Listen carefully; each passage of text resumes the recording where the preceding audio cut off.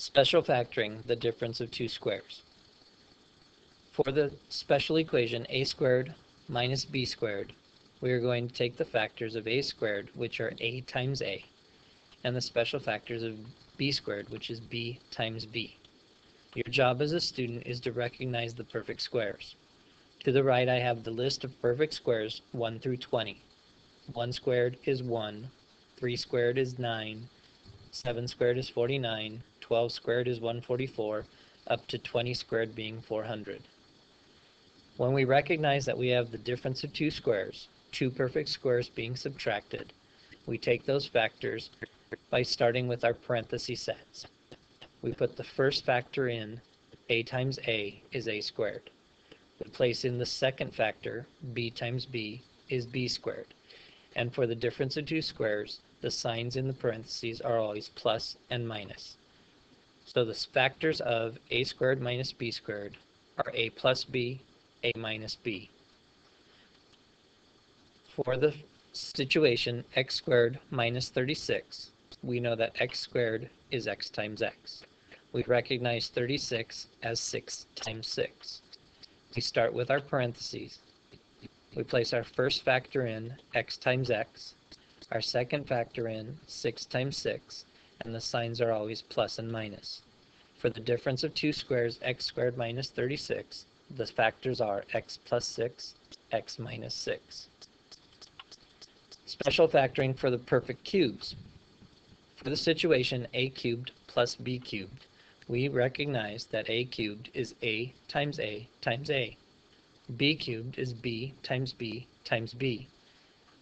Your job as a student again is to recognize the perfect cubes. To the right, I have a list of the perfect cubes 1 through 10, where 1 cubed is 1, 4 squared is 64, 7 squared is 343, up to 10 squared is 1000. When you recognize a perfect cube, you start by placing your parentheses. Following the parentheses, we place the first factor in. a cubed is a. b cubed is b. We square the first term, a squared, square the last term, b squared, and multiply the two terms to get the middle term, a times b. To figure out our signs, we use the acronym SOAP, S-O-A-P, same, opposite, always positive. The first sign is always the same as the original sign in the, in the statement. The second sign is always opposite of the sign in the original statement, and the last sign is always positive. So for a cubed plus b cubed, the factors are a plus b times the quantity a squared minus ab plus b squared. For the statement a cubed plus 64, we have to recognize that x cubed is x times x times x.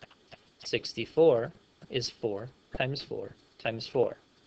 We start with our parentheses. We place in the first factor, x. Place in the second factor, 4. Square the first factor, which gives us x squared. Square the second factor, 4 squared is 16. Multiply the two factors to get the middle term, 4 times x. Using the acronym SOAP, same sign first, positive, opposite sign second, negative, and the last sign is always positive. The factors for x cubed plus 64 is x plus 4 times the quantity x squared minus 4x plus 16. When the cube, perfect cubes are being subtracted, a cubed minus b cubed, we again recognize that a cubed is a times a times a, and b cubed is b times b times b. For this situation, we begin with our parentheses. We then place in our first factor, a, our second factor, b. We square the first factor, a squared. Square the second factor, b squared. Multiply for the middle, a times b. Again, we use the acronym SOAP, and the first sign must match the sign from the original statement, negative. The second sign is always the opposite sign of the original statement, positive, and in this case, always positive at the end. So the perfect cube, a cubed minus b cubed, factors out to a minus b times the quantity a squared plus ab plus b squared.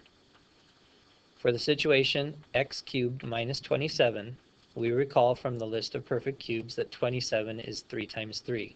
Therefore, x cubed is x times x times x, and 27 is 3 times 3 times 3.